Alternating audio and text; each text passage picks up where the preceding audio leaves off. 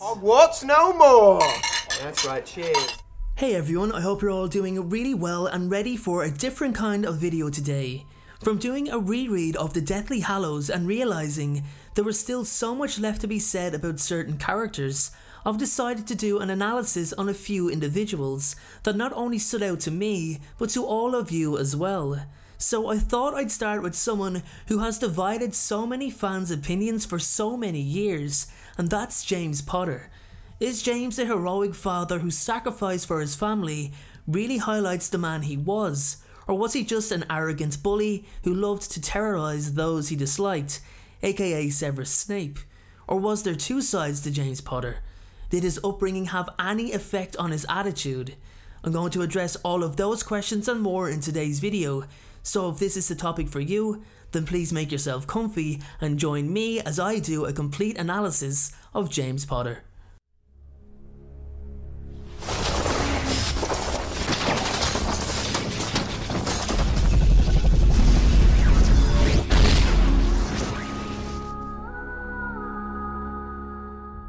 So, who was the real James Potter? I think it's safe to say we've all seen glimpses of the man at his best and also at his worst. It's been argued back and forth between so many Potter fans that James was a bully, that he was arrogant, that he only cared about his popularity, yet we then see him go out of his way completely for those he cared about. So it's quite understandable for people to question what James Potter was the real James Potter. So let's take a look at him in his earlier years. We'll look at his upbringing and his background. So James was born to Fleamont and Euphemia Potter in 1960. This was a time when the Potters would have been past 50 years old at least, so it's what many would consider quite old to have their first child at. Even taken into consideration that wizards have longer lifespans, it's still past the age that many would consider being first time parents. Still, they adored their son, they doted on him, spoiled him, gave him whatever he wanted, and James, in all honesty, had quite a privileged upbringing. He was not short of money as his parents were wealthy beyond imagination due to the revenue of the sale of Sleekeasy, the family business. So let's sum that up. He was spoiled, doted on, had the best of everything, was also pureblood, so no questionable doubt on his worth to society, and was also a very confident young man. It would be hard for him not to be. James basically had the perfect start to life, so it's no doubt his confidence quickly turned to arrogance. Now, don't get me wrong, he never flashed his wealth in others' faces, but it did make him believe he was special. Fleamont and Euphemia weren't unkind or bigots either, so it wasn't as if they were instilling certain ideologies in their son like other families were doing. The point I'm trying to make is that James Potter never had to struggle with anything growing up. When he entered Hogwarts, he makes friends with Sirius Black, Remus Lupin, and Peter Pettigrew, a group who gained popularity quickly as pranksters, but were still also recognised as decently skilled wizards. So James is there thinking, okay, I'm the leader of this group. I haven't a care in the world. I'll do what I want when I want to do it. And to be honest, at that age, in that position, who wouldn't feel like that? James was intelligent. He was skilled with a wand and also a broom. He was an incredible Quidditch player. He had it all going for him. But like most bullies, he had his target, and that was Severus Snape.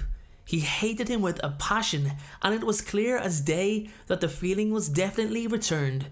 What originally began as two young boys trying to outdo each other then turned into a massive, heated rivalry, with them both trying to hex and jinx each other at every possible opportunity. I want to address the flashback scene where James uses Levicorpus on Snape in front of everyone and completely humiliates him. Harry was quite taken aback to see his father behave in such a manner, and I honestly believe it's this moment that had a lot of fans turn on James and questioned how a good person can be so cruel. Now, Remus Lupin does lift the situation slightly. He explains to Harry that Levicorpus was used on a daily basis by dozens of students, that you could not walk through the Hogwarts halls without seeing someone dangling above their head, in addition to that, Snape had gotten James numerous times previously with hexes, so it's not entirely fair to single out this memory alone as a defining characteristic of the person James was. I do agree with that, but here's the thing. He singled out Severus when he was alone and outnumbered. He utterly and totally humiliated him in front of the entire school, especially having his trousers pulled down. This wasn't bullying, this was a vindictive motion on James's end, something which he took so far over the line there was no chance of going back. Rivalry had now turned into hate. He and Snape were complete polar opposites. The only thing they had in common was Lily Evans. There was no doubt that both of them would look for each other on the battlefield when they chose their sides during the war, and this time it would be dueling to kill. That was the side of James that Lily didn't like. Don't forget, she had no interest in him until he showed signs of calming down. When he did, when he finally began to mature, we were introduced to the best of James Potter, and we are offered a somewhat explanation for his behaviour in the past. James loved Lily dearly. He was really starting to see the bigger picture, especially with the times they were living in now, now that this Dark Lord was gaining more and more followers. James had chosen his side. He was contributing to the protection of the wizarding community by risking his life almost every time he went outside the door. When it came to keeping his family safe, he also did everything possible and looked as if he had secured their safety until he was betrayed by one of his friends he so deeply cared for. That's another example that brings out James's true character. Even during his schooling days, he cared so much about the well-being of his friends. He convinced his parents to allow Sirius Black to be able to come and live with them. He sheltered Peter Pettigrew to help his confidence grow, and as for Remus Lupin, not only did he and the others learn to become Animagi, one of the most difficult things wizards can learn in order to accompany Remus during his werewolf transformations, but he also gave him an allowance from his own money so that Remus could get by as anti-werewolf legislations were heavily in place.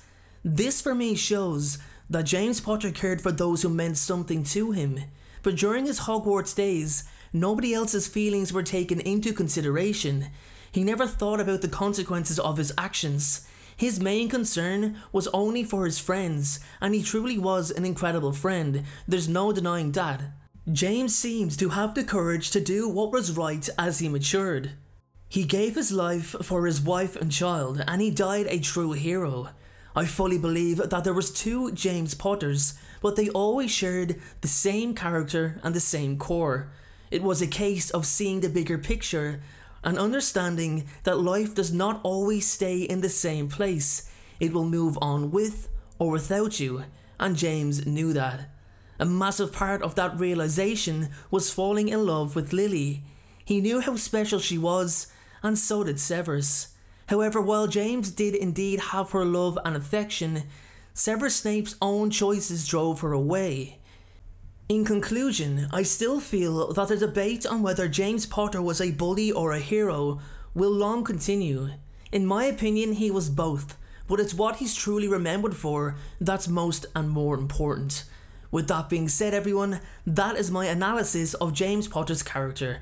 If there's anything that you'd like to add, then please do so in the comments section below. Also, please make sure to check out my video where I talk about my upcoming series, Riddle an Animated Story, which is all about the early life of Tom Riddle as he transitions from the orphanage into Hogwarts. Thank you again for watching, be safe in these difficult times, be kind, and also be happy you so much for watching. I truly, truly appreciate your support. Everyone, notifications of uploads are more important than ever. So please, if you haven't already, turn those notifications on to make sure you're notified the moment my video goes live. Making videos is what I love to do, it's my dream and my passion, however it does cost time and money to produce this content, so if you have a dollar to spare to support me on Patreon in exchange for some exclusive unseen content, then you can click the Patreon link below or at the end of this video. Please only support me if you can afford it. And make sure to follow me on Instagram at InstaDNJ and on Twitter at PotterFolklore Check out my other videos appearing on screen and please make sure, most importantly, to hit that subscribe button. Thanks again, everyone, and please have a great day.